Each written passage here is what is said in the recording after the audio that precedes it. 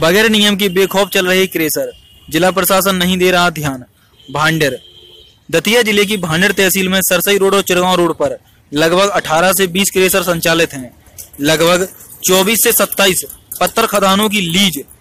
प्रशासन ने भांडेर तहसील में क्रेसर संचालकों को आवंटित कर रखी है।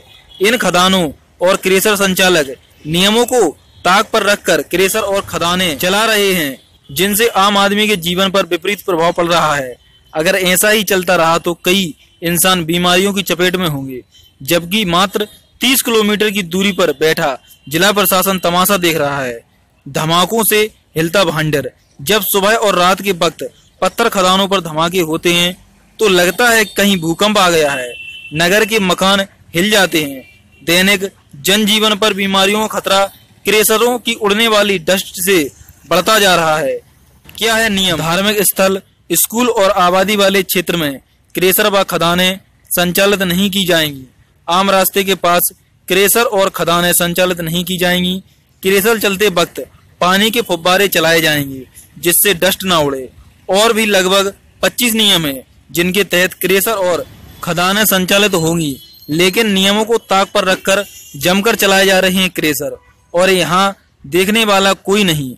भांडेर से एसआरबी पर ब्यूरो रिपोर्ट। पर्यावरण संबंधी नियम, क्रेसरों की बाउंड्री 25 फीट ऊँची होनी चाहिए।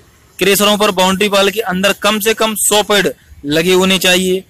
घने जो डस्ट को रोक सकें, अंतिम छोर पर पानी फुब्बारे लगे होने चाहिए, जिससे डस्ट ना उड़े।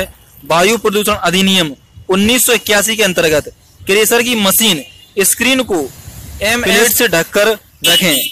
क्रेसर पर कार्य करने वाले कर्मचारियों के पास मास्क और हेलमेट होना अनिवार्य है। गिट्टी के लगे डंपों को तारपोलिन से ढककर रखें। पुरातत्व इमारत या संरक्षित शिलालेख या स्तंभ या पहाड़ी के पास लीज नहीं दी जाएगी।